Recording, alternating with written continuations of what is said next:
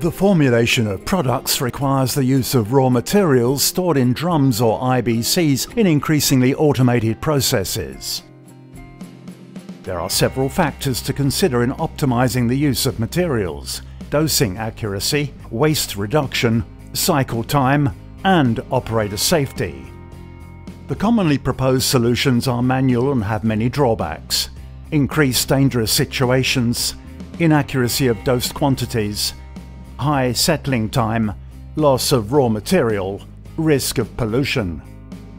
ABB has developed the DDS-1VF4, a drum or IBC automatic system that allows the pumping of liquids up to 6,000 centistokes a dosage by weighing with a precision of plus or minus 200 grams, a repeatable process, data recording for full traceability, minimal residual quantity due to the tilting of the barrel, and the rinsing operation, minimizing the risk of cross-contamination with pigged line at the pump outlet.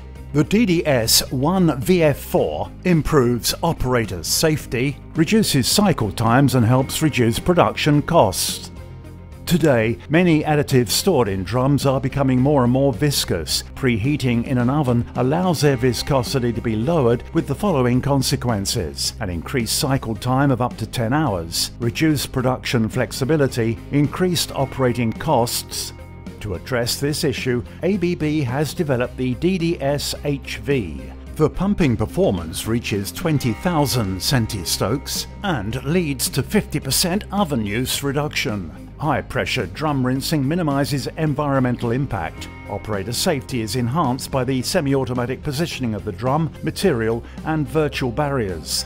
The DDS-1VF4 can pump materials up to 6,000 centistokes while the DDS-HV allows pumping up to 20,000 centistokes. If you wish to optimise the management of your raw materials, do not hesitate to contact us.